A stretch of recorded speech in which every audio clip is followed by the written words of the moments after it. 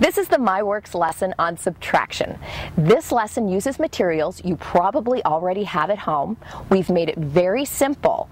This lesson should be presented to a child who already understands the concept of numbers at least to 10, understands the concept of addition, then they can do the subtraction work.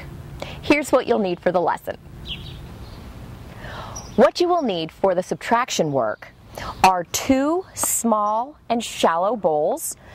Two of them need to match, and then one more shallow bowl that does not match. You will also need equations, and what we've done here is we've just used our very famous spice jars that we use in so many different lessons.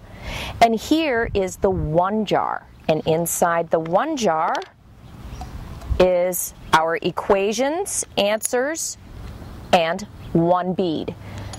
The purpose for this is as with every lesson, you want a control of error. Here's how you do the lesson. For the sake of repetition, we're going to do the lesson for you using the six jar.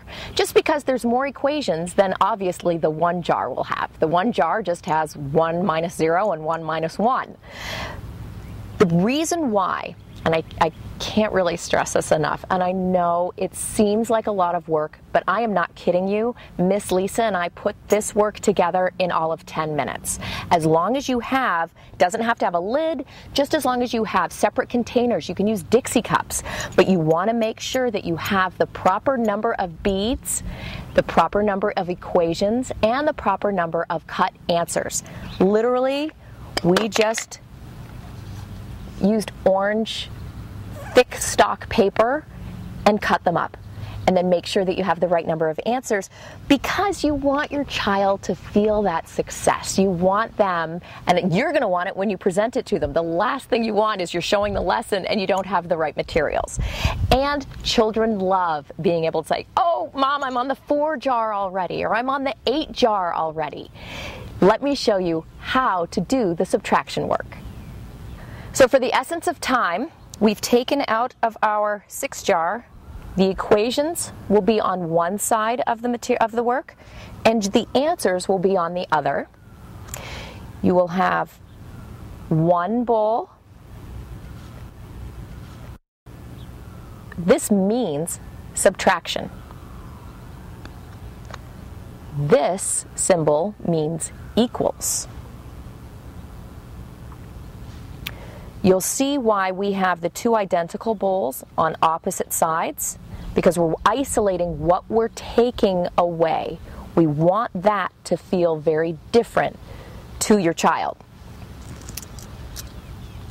The beads go here.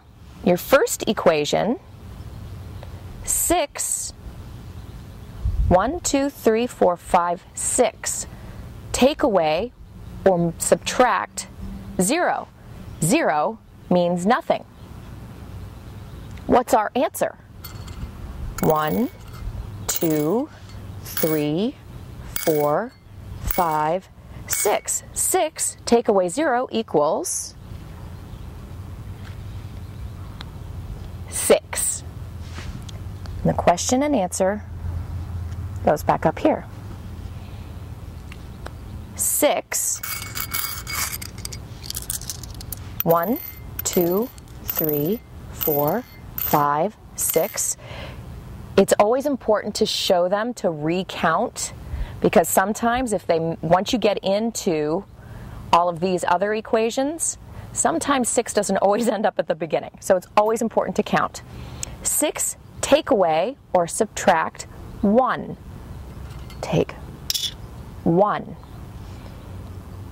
equals one, two, three, four, five. Six, take away one equals five. Six.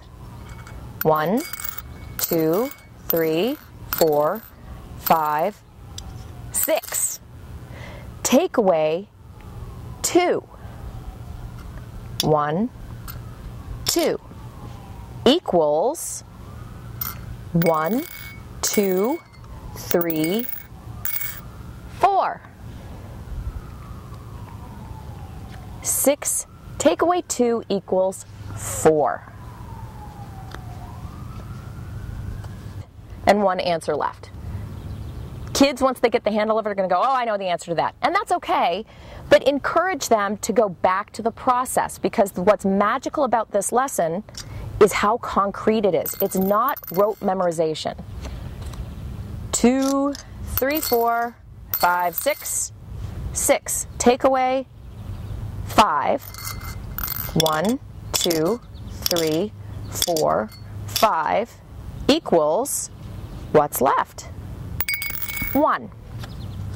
Six, take away five equals one. The reason why it's really important to make sure that you recount your beads and you reiterate every part of the equation.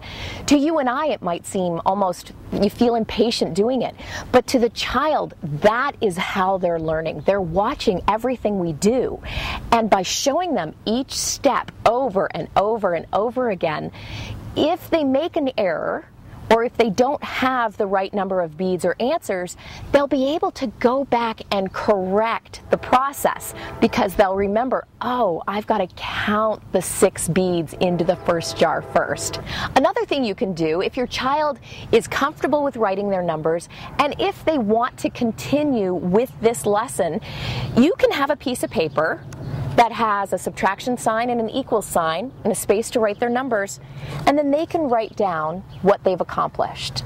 It, is by no means required, nor is it necessary, but if your child is looking for something more to do, or if they're so proud and they want it hanging on the refrigerator, by all means, let them copy down the equations, and it shows that they've completed the sixth drawer or the sixth jar, and they can move on to seven enjoy subtraction.